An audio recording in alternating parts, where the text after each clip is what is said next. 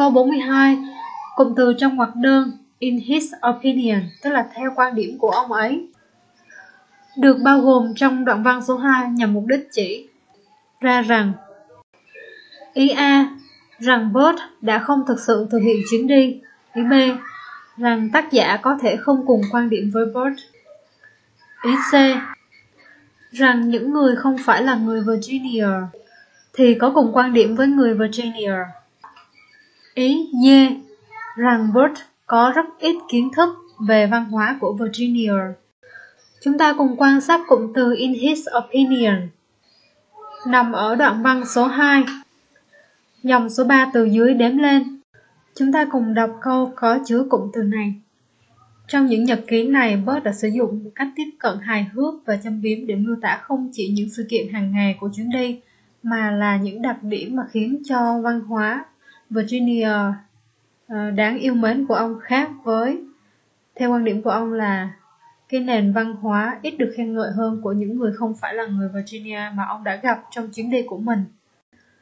Câu 42 chọn B, cụm từ trong ngoặc đơn in his opinion chỉ ra rằng có thể tác giả không cùng quan điểm với Bert.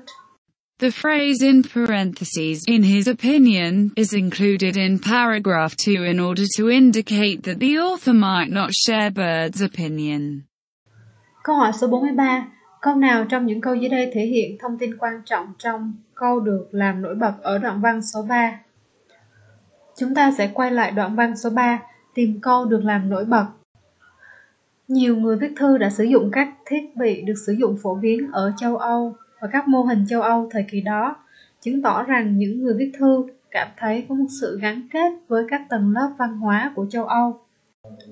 John và Abigail Adam đã ký tên là Lysander và Constantia cho những lá thư đầu của họ, trong khi Thomas Jefferson đã tạo ra một cái cuộc hội thoại rất là công phu giữa đầu và trái tim của mình để thảo luận về bản chất của tình bạn trong một lá thư vào năm 1786 gửi Maria Cosway.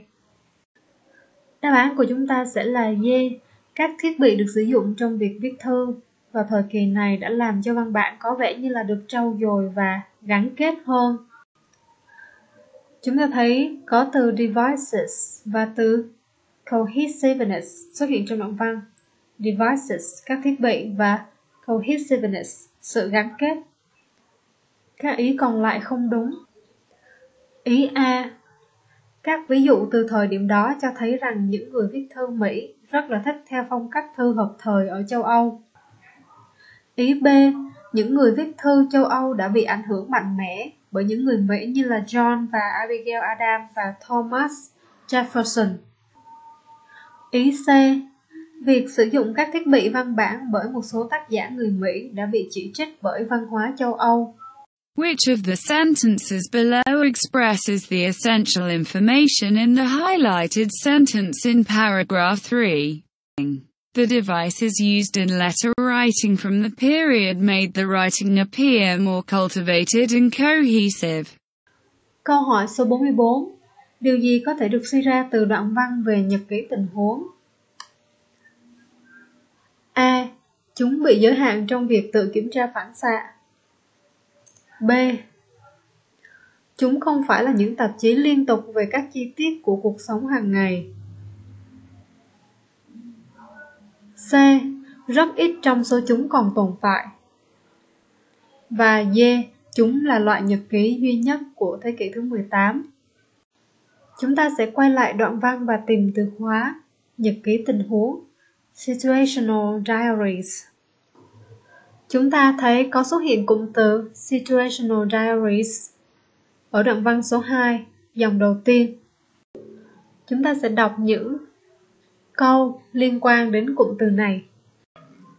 Nhiều quyển nhật ký được giữ trong suốt giai đoạn này là nhật ký cuộc sống bởi những tác giả quan tâm đến việc duy trì những hồ, hồ sơ hàng ngày của việc tự kiểm tra phản xạ. Nhưng một số trong những quyển nhật ký hấp dẫn nhất là nhật ký tình huống những quyển được nhắc và được giới hạn với những mô tả dài của những phản ánh cá nhân về một sự kiện cụ thể. Các bạn thấy ở đây có nói đến những phản ánh cá nhân về một sự kiện cụ thể. Vậy đáp án của chúng ta sẽ là B. Chúng không phải là những tạp chí liên tục về các chi tiết của cuộc sống hàng ngày. Diaries. What can be inferred from the passage about situational diaries? They were not ongoing journals of the details of daily life. Phần 10. Các bạn sẽ đánh dấu vào các chữ cái ABC hoặc D trên phiếu trả lời để chỉ ra câu phù hợp nhất để nối mỗi cặp câu dưới đây, từ câu hỏi 45 đến 46. Câu 45, chúng ta dành khoảng 1 phần 3 cuộc đời để ngủ. Chúng ta biết khá là ít về giấc ngủ. Các bạn thấy thông tin ở đây khiến cho chúng ta khá là bất ngờ đúng không? Chúng ta dành khoảng 1 phần 3 thời gian trong đời để ngủ. Đáng lẽ ra chúng ta phải biết rất nhiều về giấc ngủ, nhưng ở đây chúng ta lại biết khá ít về giấc ngủ. Bây giờ chúng ta sẽ quan sát thật là nhanh những cụm từ được dùng để nối hai câu này. Ở câu A, người ta dùng as a result, kết quả là. Câu B dùng so that, để mà. Câu C dùng despite, mặc dù. Và câu D thì dùng if, nếu. Ở đây chúng ta thấy có sự tương phản cho nên chúng ta sẽ chọn đáp án C. Câu C, mặc dù dành khoảng 1 phần 3 thời gian trong đời để ngủ, chúng ta biết khá là ít về giấc ngủ. Despite spending about one third of our lives sleeping, we know relatively little about sleep.